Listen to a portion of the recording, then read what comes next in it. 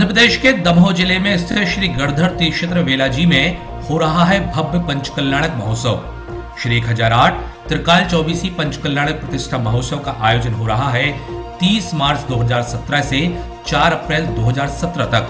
बुंदेलखंड केसरी आचार्य श्री एक सिद्धांत सागर जी महाराज के सानिध्य में हो रहा है यह भव्य आयोजन। मुख्य निर्देशन बाल योगी आचार्य श्री एक सौभाग्य सागर जी महाराज। इसके साथ ही 1 अप्रैल 2017 को होगा आचार्य सिद्धांत सागर जी महाराज का पचासवा जन्मोत्सव समारोह। आइए, कार्यक्रम में भाग लीजिए धर्म लाभ लीजिए।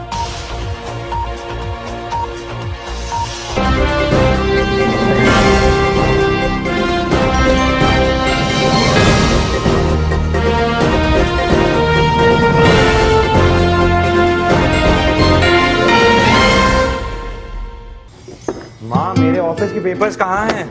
दादी आप मेरी चीज़ें क्यों छेड़ती रहती रूही हैं? ये क्या तमीज है? से सॉरी टू दादी। Sorry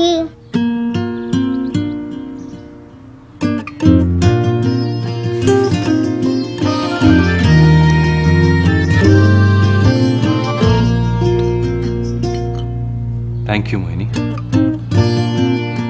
thank you Mohini Mohini evergreen tea स्वाद जो दिल चाहे नमस्कार, तूफ़ान टीवी के इस बुलेटिन में आपका स्वागत है। सबसे पहले हेडलाइंस महिला दिवस पर महिला सशक्तिकरण के लिए किया गया प्रयास।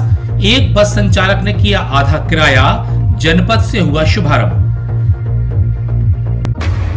त्योहार के चलते शांति समिति की बैठक का हुआ आयोजन। बटियागढ़, हिंडोरिया, मरियादो, नरसिंहगढ़ सहित अन्य थानों में विचार विमर्श। तहसील मैदान की गंदगी हटाने आगे आया युवा जागृति मंच। बुंदेली दमो महोत्सव समापन के बाद नहीं की गई थी साफ़ सफ़ाई। हिंदुस्तान संगनी क्लब ने मजदूर महिलाओं को लगाया गले, उपहार बैठ करके महिलाओं को सशक्त करने का संदेश। और जबीरा विधायक ने विधानसभा में उठाया अतिथि शिक्षकों का मुद्दा, प्रताप सिंह ने अपने वादे के अनुसार शून्य काल में रखी बात। और अब समाचार विस्तार से। महिला दिवस के अवसर पर एक बस संचालक की ओर से स्कूल एवं कॉलेज जाने वाली छात्राओं के लिए आधा किराया की स्कीम शुरू की गई है। जनपद पंचायत के सामने जनपद की उपाध्यक्ष मनीषा पवन तिवारी, डॉक्टर प्रेमलता नीलम सहित मातृ शक्ति ने योजना का पूजन के बाद शुभारंभ किया। इस बस संचालक ने बताया कि उनका लक्ष्य महिलाओं को सशक्त बनाना है। साथ ही यदि आधे किराया में भी आवागमन कर सकेंगी तो उनको विद्यालय कॉलेज जाने में भी सुविधा होगी। हटा मार्ग पर चलने वाली गौरी बस सर्विस नाम की इस बस के चलने के बाद उपस्थित लोगों ने अपनी बात कही वहीं बस के संचालक सुनील शिवम एवं सत्यम दाहिया की सोच एवं दूरदर्शिता की तारीफ़ भी की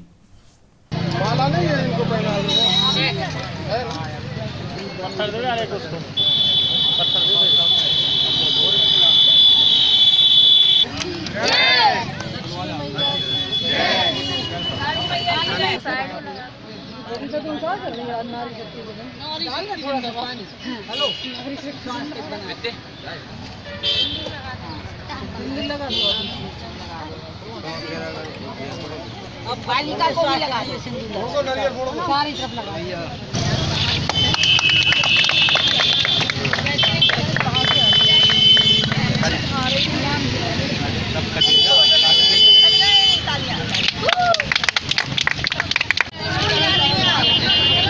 अब सब मेहमान घर रहेंगे घर वाले घूमने जा रहे हैं अंतर्राष्ट्रीय महिला दिवस के अवसर पर 8 मार्च को जो हमारी बस दमोह से हटा चलती है। तो इसमें बच्चियों ने बोला, हम कॉलेज डेली जाते हैं तो कंसेशन करो। तो हमने आज से आधा किराया कर दिया है। स्कूली बच्चे, इसकी प्रेरणा हमें हमारी चाची जी ने, मनीषा तिवारी जी ने दी कि इन्होंने हमारी बात मानी और ऐसे सराहनीय कार्य और भी बस ऑनर करें। ऐसी प्रेरणा हम उन लोगों को भी देना चाहेंगे और उनसे इच्छा रखेंगे कि हमारे बेटे सुनील दाहिया से वो ये प्रेरणा लें और सभी बच्चियाँ जो शिक्षित हो सकें, ये प्रयास हमारा प्रशासन कर रहा है। बेटी बचाओ, बेटी पढ़ाओ तो इसी को क्रम को आगे बढ़ाते हुए हमने ये सिलसिला जारी रहे और सारे लोग प्रयासरत रहें इस कार्य के लिए। नगर के नगर उपाध्यक्ष भाई सत्यम दहाइया जी ने ये इनकी जो बस है जो ये संचालित की गई है।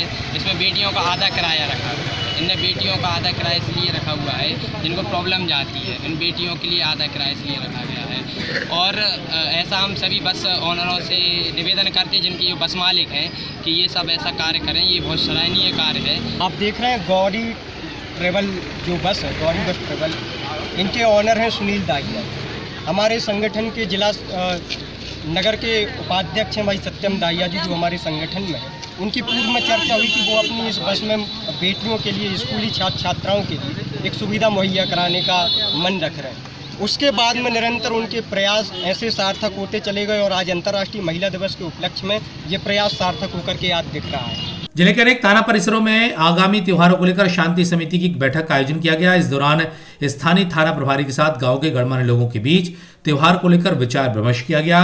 साथ ही शहर के गणमान्य नागरिकों के बीच आगामी होली के साथ अन्य त्योहारों पर शांति बनाए रखने के बारे में विस्तार से चर्चा की गई, जिसमें अनेक विषयों पर विस्तार से चर्चा का दौर चलता रहा। इंडोरिया मड़ियादा और नरसिंहगढ़ के साथ बटियागढ़ में भी शांति समिति की एक बैठक का आयोजन किया गया, जहाँ तहसीलदार महेश दुबे, थाना प्रभारी चंद्रकांत पटेल, भाजपा के पूर्व जिलाध्यक्ष नंद व्यास, जनपद उपाध्यक्ष भगत सिंह पटेल, डॉक्टर चरण सिंह, सुल्तान खान सहित अन्य लोग मौजूद रहे। बटियागढ़ से रमज़ान खान की रिपोर्ट। कार्रवाई करें इन पे है ना? आप लोगों को जो जो है या बताने वाले मिल रहा है उसको बता भी दें कि भाई इस बार हम लोग ने ऐसी और ये प्लान बनाया कि तीन सवारी होगी तो बच्चों को पकड़े इस अच्छे से त्यौहार मनाओगे तीन सवारी न जो आप लोग बता रहे हैं होली बहुत कम होती है। टीचर की होली तो मेरे ख्याल से कुछ यहाँ वो तो नहीं हो एसिड वैसिड या केमिकल वाले का हो गई। ऐसी होली कीचड़ वाली और रंग वाली ज़बरदस्ती वाली तो खत्म हो गई। विवाद होने लगी तो होली सूखी है समस्या तब उत्पन्न हो जाती। मज़े के लिए लोग खेलते हैं विवाद होते हैं बात आने तक आती फिर कोर्ट में वो साल भर होली मनाते हैं तो अब लोग भी समझदार हो गए कि यार रहने दो। युवा जागृति मंच की ओर से मोदी जी के स्वच्छ भारत अभियान को बढ़ावा देने के लिए बुधवार की सुबह सफ़ाई अभियान चलाया गया। मंच के संयोजक एवं जिला कांग्रेस के प्रवक्ता नितिन मिश्रा की अगुवाई में मोदी जी के मिशन को सार्थक करने का प्रयास किया गया। मालूम हो कि बुंदेली दमो महोत्सव के तहत तहसील मैदान में 10 दिन तक मेले का आयोजन किया गया, जहाँ पर दुकानों के चले जाने तथा टेंट भी निकल जाने के बाद यहाँ पर सफ़ाई का जिम्मा लेने वाले ठेकेदार की ओर से सफ़ाई नहीं कराई गई। तो नगर के इस महत्वपूर्ण स्थल को साफ़ करने का जिम्मा युवा जागृति मंच ने अपने कंधों पर ले लिया। जिसके बाद यहाँ पर सफ़ाई का क्रम देर तक चलता रहा।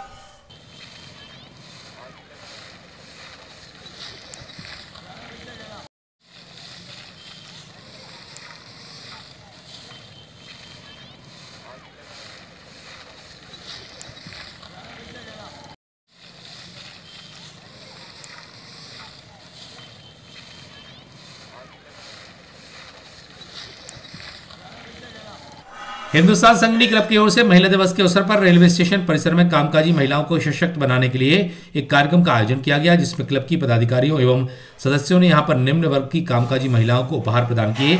साथ ही उनके, उनको गले लगाकर, उनको गुलाल लगाकर महिला दिवस एवं होली की शुभकामनाएँ दी। इस दौरान यहाँ पर महिलाओं में उत्साह का संचार नज़र आया।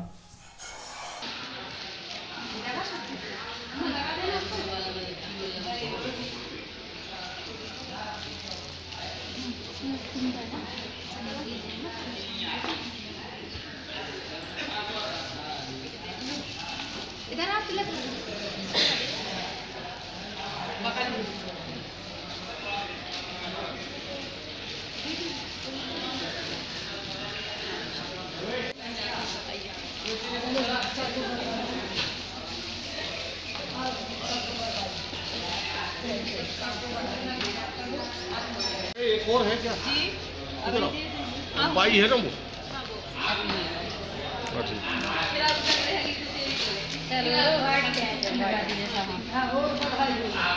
हाँ, राष्ट्रीय महिला दिवस है वैसे तो हर दिन महिलाओं का है परंतु एक विशेष दिन है आज महिलाओं के लिए। तो आज जो महिलाओं की स्थिति है, पचास साल पहले जो स्थिति उससे तो कहीं बेहतर है। लेकिन हम लोग चाहते हैं कि महिलाओं की और अच्छी स्थिति हो। आज जहाँ हमारे देश में महिलाएँ नाम रोशन कर रही हैं, चाहे वो सुषमा स्वराज हो, चाहे वो स्मृति ईरानी हो, चाहे वो गीता बबीता हो, चाहे ऐश्वर्या राय हो, वहीं आज हमारे देश में कई महिलाएँ बहुत पिछड़ी हुई हैं और उनकी स्थिति आज भी बहुत खराब है। तो हम लोग आज के दिन ये संदेश देना चाहते हैं कि महिलाओं को अपने अंदर की शक्ति को पहचानना चाहिए। मैं नगर की और सभी ग्रामीण महिलाएँ, सभी मजदूर महिलाओं को बहुत बहुत शुभकामना महिला दिवस में देना चाह रही हूँ, क्योंकि महिला जो है बड़े स्तर में भी काम कर रही हैं और छोटी गरीब महिला हैं वो भी काम कर रही हैं, ज़िम्मेदारी लेके करती हैं, वो अपने परिवार को दिन भर वो कमाती है, बनी मजदूरी करती है, क्योंकि उनको भी आज हमें सम्मान देते हुए बहुत अच्छा लग रहा है। इसके लिए मैं बहुत बहुत धन्यवाद देती हूँ। अंतर्राष्ट्रीय महिला सभी महिलाओं को बहुत बहुत बधाई। पारदर्शिता और सहिष्णुता दो महिलाओं के जो गहने हैं, वो महिलाओं में नज़र आते हैं। बस कहना इतना है कि वो अपना मातृत्व पहचाने और हर क्रिया के लिए आगे बढ़ें। जय हिंद, जय भारत। बोलना चाहती हूँ कि वो आगे बढ़ें और अपना सम्मान लें। धन्यवाद। ज़िले में अतिथि शिक्षक अपनी मांगों को लेकर काम बंद हड़ताल कर रहे हैं, जिसमें अतिथि शिक्षकों की मांग है कि उनको भी सरकार की ओर से गुरुजियों की तरह परीक्षा लेकर नियमित किया जाए, जिसको लेकर जबीरा में किए गए आंदोलन के दौरान जबीरा विधायक प्रताप सिंह ने इन लोगों से उनका मामला विधानसभा में उठाने का बात कही थी, जिस वादे को पूरा करते हुए विधायक प्रताप सिंह ने मुद्दा शून्य काल में उठाया उन्होंने कहा कि जल्द ही इस मामले पर सरकार ध्यान देकर अतिथियों के लिए कार्य करे।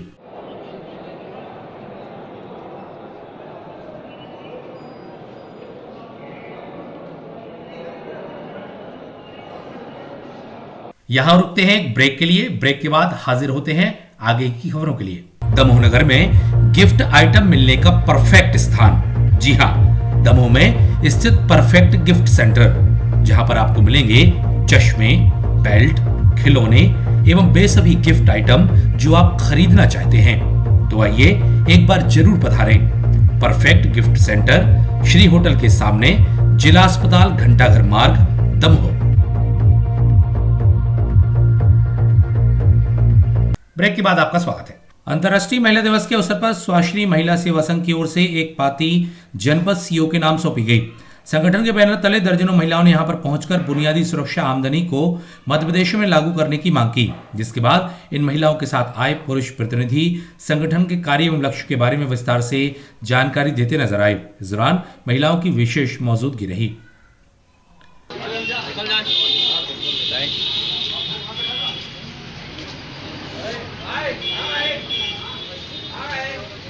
महिला दिवस के उपलक्ष्य में सेवा मध्य प्रदेश ने बुनियादी सुरक्षा आमदनी को लागू करने के लिए राज्य में शुरू करने हेतु अभियान प्रारंभ किया। सेवा असंगठित क्षेत्र की छः लाख श्रमिकों का संगठन है, जिसमें से 2010 से 2013 तक इंदौर ज़िले के 22 गाँवों में प्रायोगिक अध्ययन किया गया था, जिसके निष्कर्ष केंद्र सरकार के द्वारा 2016-17 आर्थिक सर्वेक्षण के अध्याय नौ में अधिसूचित करते हुए महिला एवं बच्चों को बुनियादी सुरक्षा आमदनी। पटेरा में बीएमओ एवं तहसीलदार की ओर से अनाधिकृत रूप से लोगों का इलाज कराने, करने वाले डॉक्टरों पर की गई कार्रवाई को एक पत्रकार साथी श्रीकांत मिश्रा द्वारा प्रमुखता के साथ दिखाया गया था। वहीं खबर के चलने के बाद एक डॉक्टर लीलाधर अहिरवार की ओर से धमकी दी गई, जिस बात से आहत पत्रकार की ओर से पुलिस अधीक्षक दमोह के नाम शिकायती पत्र सौंपकर कार्रवाई की मांग की गई। जिस प्रकार से पत्रकार द्वारा खबर का प्रसारण किया गया, वह कार्रवाई प्रशासन की थी, जिस पर कथित डॉक्टर द्वारा इस प्रकार का रवैया अपराध की श्रेणी में आता है। पत्रकार ने कार्रवाई की मांग की है। अगले परिचय में फिर मिलते हैं। आप जुड़े तूफ़ान टीवी के साथ। नमस्कार।